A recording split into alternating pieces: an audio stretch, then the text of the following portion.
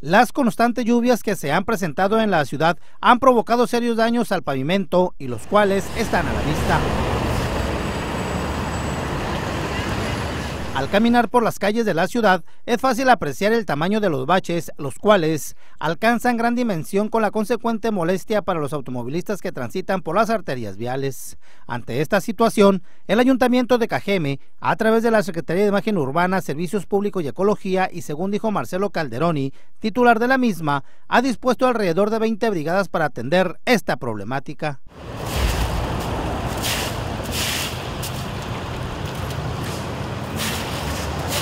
Sin embargo, es seguro y así se pone de manifiesto en los lugares donde se está trabajando que esas acciones se verán afectadas ya que es bastante la humedad que se está presentando. Incluso hay espacios en los que todavía el asfalto que se colocó en días anteriores está filtrando agua. Ante ello, es necesario esperar hasta dos horas para que se pueda colocar nuevamente el asfalto.